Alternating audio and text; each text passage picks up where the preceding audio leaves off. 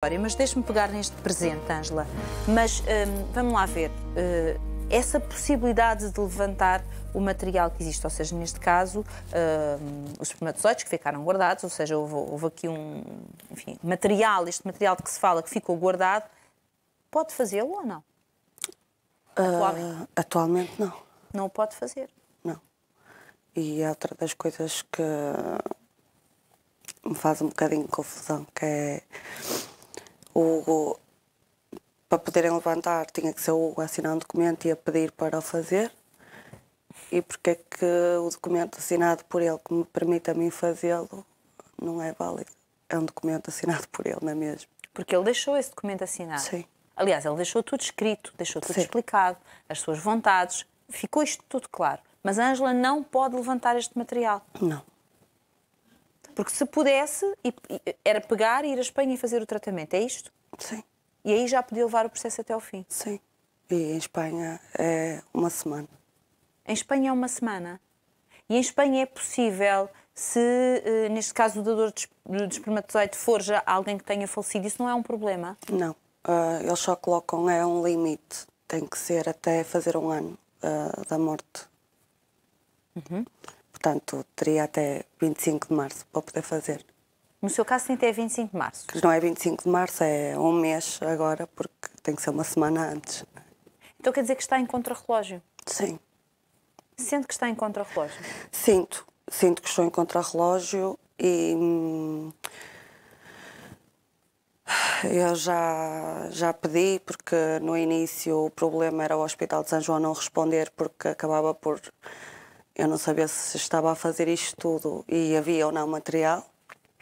O hospital já, eh, já respondeu à minha carta dizendo que não ia proceder à destruição do material. Ou seja, continua lá, não é? Está Sim. reservado para já? Uh, agora falta o Primeiro-Ministro, o Presidente da República, alguém falar comigo, me dizer alguma coisa. Uh, Como é que menos... recebeu essa notícia do Hospital de São João? Uh, foi na sexta-feira, nós foi aqui na redação ficámos muito uh, ficámos não é, admirados quando, quando, quando, lemos que isto ia acontecer. Foi, foi um, um alívio. alívio. Sim, sim. Aí já, já é um bom de força, porque hum, está tudo em aberto. Eu ia dizer isso na verdade continua tudo em aberto. Sim. Há uma coisa que já tenho garantida, não vai ser destruído como normalmente acontece, não é? Segundo eu sei pela lei, ao fim de um ano pode ser destruído, não é? Eh, eu não sei se tem prazo ou limite. Sei que a indicação de. Ou seja, o que a lei diz é que tem, tem que proceder à destruição se o dador eh, morrer.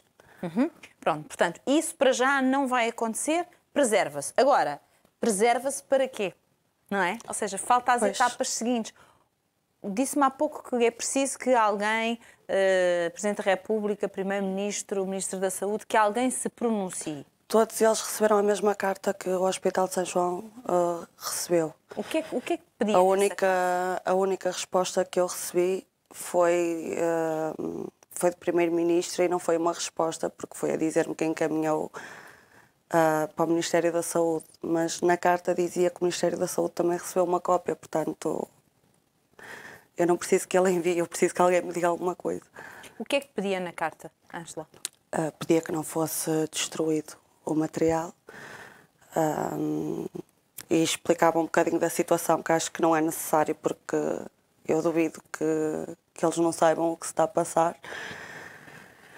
Mas continuo à espera da resposta de uma resposta, porque o professor Marcelo já foi a segunda carta minha que recebeu. A primeira recebi uma carta daquelas automáticas a dizer qual é o número da lei e agora estou sem resposta a esta. E eu gostava de ter uma resposta. Eu preciso ter uma resposta.